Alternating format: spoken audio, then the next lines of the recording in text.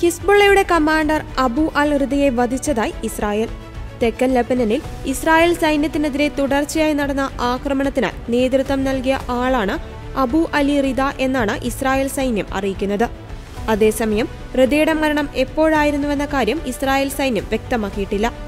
ലബനനിലെ ബറാച്ചിത് മേഖലയിൽ ഇസ്രായേൽ സൈന്യത്തിനു നേരെ റോക്കറ്റ് ആക്രമണം നടത്തുന്നതിൽ നേതൃത്വം നൽകിയത് അബു അലി റിദയാണെന്ന് ഐ അറിയിച്ചു.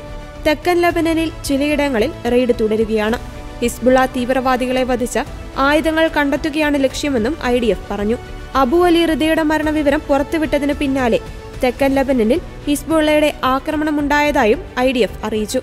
അറുപതോളം മിസൈലുകൾ ഹിസ്ബുള്ള തൊടുത്തുവിട്ടു.